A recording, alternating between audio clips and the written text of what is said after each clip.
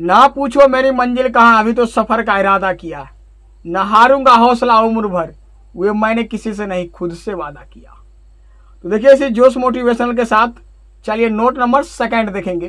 तो देखिए यहाँ से नोट नंबर सेकंड में दिया गया है, जब सी पी कोमा एसपी तथा प्रॉफिट एवं लॉस वस्तु के रूप में दर्शाता हो तो उसे क्या समझेंगे? भाव का केस समझेंगे।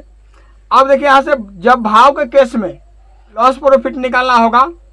जब परसेंटेज निकालना होगा तो क्या करेंगे हमेशा? एसपी पर निकालेंगे। जब आपको कहा जाएगा लाभ प्रतिशत एसपी पर निकालेंगे। हानि प्रतिशत एसपी पर निकालेंगे। तो भाव का केस दिया रहेगा तब। अब भाव का केस सर क्या होता है? आप पूछेगा भाव का केस क्या होता है? और अमाउंट का केस आप पढ़ चुके हैं। भाव का केस देखिए। जैसे आपको दिया रहेगा, पंद्रह वस्तु का क्रय मूल्य, पचास वस्तु का विक्रय मूल्य के बराबर। तो उस क्या निकाला? है प्रॉफिट निकालना है। परसेंटेज में और लॉस निकालना है। परसेंटेज में तो क्या करेंगे? एसपी पर निकालेंगे हमेशा। मेरे प्यारे मित्रों, देखेंगे यहाँ से। डायरेक्ट भाव का जब केस दिया रहेगा तो इसके लिए हम प्रॉफिट निकालेंगे। इसके लिए फॉर्मूला देखेंगे। तो देखिए यहाँ से डायरेक्ट लाभ, यहाँ से प्रतिशत लाभ बराबर लिखेंगे। लाभ गुणे एक सौ। क्या लिखेंगे? लाभ गुणे एक सौ। बट्टे। क्या करेंगे? लिखेंगे एस पी क्यों भाव का केस में दिया गया? यहाँ प्रतिशत लगाना ना भूलेंगे। ठीक, देखिए यहाँ से। जब हानि भी निकालना होगा तो क्या करेंगे प्रतिशत हानि के लिए? डायरेक्ट लिखेंगे प्रतिशत हानि बराबर। हानि गुणे एक सौ। क्या लिखेंगे? हानि गुणे एक सौ बट्टे क्या करेंगे? एस पी जो भाव के केस दिया गया। वहाँ आपको नहीं दिया रहेगा। जो पंद्रह वस्तु का दाम बीस रुपया है। तो पचास वस्तु का तो पचास वस्तु का दाम पाँच सौ रुपया है। इसमें बताइए, कितना प्रतिशत का लाभ हुआ, कितना यानी रुपया का बात नहीं किया जाएगा। सीधा वहाँ क्या किया जाएगा? केवल वस्तु के रूप में किया जाएगा। केवल किसके रूप में किया जाएगा? वस्तु के रूप में किया जाएगा। तो देखिए, यहाँ से मेरे प्यारे मित्रों, देखते हैं एग्ज़ाम्पल नंबर फ़र्स्ट तो देखिए, यहाँ से एग्ज़ाम्पल फ़र्स्ट देखेंगे।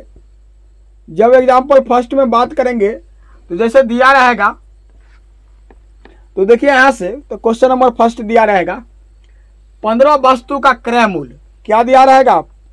पंद्रह वस्तु का क्रय मूल्य। पंद्रह वस्तु का क्रय मूल्य, और क्या दिया रहेगा? पंद्रह वस्तु का क्रय मूल्य, बीस वस्तु के विक्रय मूल्य के बराबर है। क्या रहेगा? बीस वस्तु तथा बीस वस्तु बीस वस्तु का विक्रय मूल्य। बीस वस्तु के विक्रय मूल्य। के विक्रय मूल्य के बराबर है। क्या लिखा रहेगा? बराबर है। तो लाभ लाभ प्रतिशत या हानि प्रतिशत ज्ञात करें। या हानि प्रतिशत ज्ञात करें। तो क्या करेंगे? क्या हो गया? इसमें देखिए, कहीं रुपया का चर्च किया गया। रुपया का नाम निशान इसमें नहीं लिया गया। तो यहाँ से क्या करेंगे? लाभ प्रतिशत निकालना होगा या हानि प्रतिशत निकालना होगा? तो क्या करेंगे? यहाँ से देखिए, क्या हो गया? गुड़ बेच के साव कहानी वाली बात हो गया। तो देखिए, यहाँ से क्या हुआ? किसी वस्तु को पंद्रह के दर से खरीदा और बीस के दर से बेच दिया। तो कभी भी उसको लाभ होगा कि हानि होगा? आप ही बताइए। आप बताइए, जैसे आप मान लीजिए एग्ज़ाम्पल में एक सौ रुपया में पंद्रह सामान खरीदे। अब एक सौ रुपया में पंद्रह सामान खरीदे हैं, एक सौ रुपया में बीस गो सामान बेच देंगे। तो लाभ होगा कि हानि होगा? अब बताइए हानि न होगा? क्या होगा? घर घरानी पर चल जाएगा कि रहेगा ऐसा व्यापार का? अभी बताइए। कभी संभव है? तो ऐसा ऐसा व्यापार क्या होगा? घर बेच के भी क्या होगा? कुछ देर के बाद गाँव छोड़ना होगा, पाँच साल, दस साल में। तो देखिए यहाँ से जब इस टाइप का दिया रहेगा अब मान लीजिए एक सौ रुपया में क्या हुआ? पंद्रह वस्तु खरीदे और उसी एक सौ रुपया में क्या किए? बीस गो वस्तु बेच दिए। तो पाँच वस्तु का लॉस हो रहा है। जब पाँच वस्तु का लॉस हो रहा है तो क्या करेंगे यहाँ से क्या करेंगे? हानि प्रतिशत लिखेंगे। प्रतिशत हानि बराबर डायरेक्ट लिखेंगे। दोनों वस्तु का क्या करेंगे? अंतर। अंतर कितना हो रहा है? पाँच का। तो यहाँ से लिखेंगे पाँच बट्टे। एसपी एसपी क्या दिया गया है? देखिए यहाँ से। आपको जब पंद्रह वस्तु का क्या दिया गया है? क्रय मूल्य तो पंद्रह वस्तु का क्रय मूल्य हो गया तो क्या हो गया? सीपी सी पी आपका क्या हो गया? पंद्रह। और क्या हो गया? एस पी यानी विक्रय मूल्य हो गया। क्या दिया है? तथा बीस वस्तु के विक्रय मूल्य यानी क्या हो गया? एस पी हो गया आपका बीस। उसके बाद देखिए यहाँ से तो क्या करेंगे? दोनों वस्तु का अंतर। जब दोनों वस्तु का अंतर करके ऊपर लिखे, उसके बाद क्या करेंगे? देखिए यहाँ से एस पी क्या क्या गया? देखिए, यहाँ से एस पी दिया गया। एस पी कितना हो गया इसका? देखिए, यहाँ से बीस। यहाँ से लिखेंगे बट्टे में बीस। गुणे प्रतिशत में बदलना है तो एक सौ प्रतिशत से गुना करेंगे। तो देखिए, मेरे प्यारे मित्रों, यहाँ से अब क्या करेंगे? लिखेंगे यहाँ से प्रतिशत। एक एक सौ प्रतिशत से गुना किया है। बीस पंचे क्या हो जाएगा? बीस पंचे एक सौ। जब ये दोनों गुना करेंगे तो क्या होगा? पचे पच्चीस प्रतिशत। क्या हो रहा है? पच्चीस प्रतिशत का हानि हो रहा है। जब आपको लॉ यहाँ से लाभ भी निकालना होगा तो क्या करेंगे? देख लिया यहाँ से डायरेक्ट क्या करेंगे? जब ऐसे दिया रहता है इसी में क्वेश्चन में, इसी क्वेश्चन में दिया रहता है तो देखिए यहाँ से एग्ज़ाम्पल नंबर आपको सेकेंड भी हम थोड़ा बता देते हैं। देखिए यहाँ से निकालेंगे यहाँ से क्या करेंगे? सबसे सिंपल इसको मिटाते हैं। तो देखिए यहाँ से क्या करेंगे?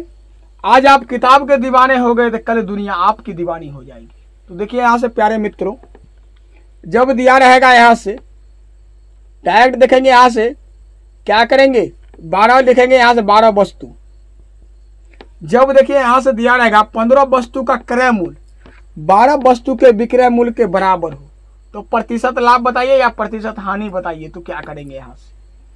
तो देखिए यहाँ से ये कुछ व्यापार ठीक ठाक है। ये क्या है? व्यापार ठीक ठाक है। यानी पंद्रह को के हिसाब से खरीदे हैं और बारह को हिसाब से बेच रहे हैं। जैसे मानिए आप एक सौ रुपया में पंद्रह को वस्तु खरीदे एक सौ रुपया में बारह वस्तु हम क्या कर रहे हैं, बेच रहे हैं। तीन वस्तु का क्या हो रहा है? लाभ हो रहा है। तो देखिए, यहाँ से प्यारे मित्रों डायरेक्ट लाभ प्रतिशत निकालना होगा तो क्या करेंगे? क्या करेंगे? लाभ प्रतिशत, यानी प्रतिशत लाभ बराबर लिखेंगे। क्या हो रहा है? तीन वस्तु का। तो देखिए यहाँ से डायरेक्ट तो इसका सीपी कितना हो जाएगा? सीपी देखिए, यहाँ दिया गया है पंद्रह। पंद्रह वस्तु और एसपी क्या दिया गया है? एसपी दिया गया है बारह वस्तु। तो देखिए, मेरे प्यारे मित्रों, यहाँ से डायरेक्ट निकालेंगे प्रतिशत लाभ। क्या करेंगे दोनों का अंतर। दोनों का अंतर कितना हो गया? तीन। यहाँ से लिखेंगे तीन। और बट्टा क्या करेंगे? यहाँ से लिखेंगे डायरेक्ट एसपी एसपी देखिए, यहाँ से क्या दिया गया? था एसपी दिया गया है बारह। हमेशा क्या करेंगे? जब भाव का रूप में, भाव का केस में दिया रहता है तो क्या करते हैं हमेशा? एसपी पर लाभ प्रतिशत निकालना हो या हानि प्रतिशत निकालना हो, किस पर निकालते हैं? एसपी पर निकालते हैं। तो एसपी कितना दिया गया है? बारह। और प्रतिशत बदला तो क्या करेंगे? गुने एक सौ। तो देखिए यहाँ से मेरे प्यारे मित्रों, एक सौ प्रतिशत से क्या करेंगे? गुना करेंगे। तो देखिए यहाँ से क्या हो जाएगा? चार तिया बारह। क्या होगा? चार तिया बारह, यानी तीन चौक बारह हो गया और पच्चीस सौ का क्या होगा? एक सौ। पच्चीस सौ का क्या हो गया? एक सौ। यानी क्या हो जाएगा? पच्चीस प्रतिशत का क्या हो रहा है? लाभ हो रहा है। यानी आपको हमेशा ख्याल रखना है, जब S P C P S P profit and loss वस्तु के रूप में दिया रहेगा। तो क्या करेंगे हमेशा? भाव का केस समझेंगे। जब भाव के केस में रुपया का कहीं चर्च नहीं रहता देखिए इसमें कहीं रुपया का चर्च दिया गया, नहीं किया गया तो क्या होगा? भाव का केस। जब भाव का केस होगा तो हमेशा याद रखना है एसपी पर निकालेंगे। लाभ पर, लाभ प्रतिशत निकालना हो या हानि प्रतिशत निकालना हो तो किसके रूप में निकालेंगे? हमेशा एसपी पर निकालेंगे। यह वीडियो आपको अच्छा लगा होगा तो कमेंट करके हमें ज़रूर बताइएगा। और अपने दोस्तों के पास अधिक से अधिक शेयर कीजिएगा। थैंक्स फॉर वॉचिंग फिर मिलते हैं नेक्स्ट वीडियो में। तब तक के लिए टेक केयर बाय बाय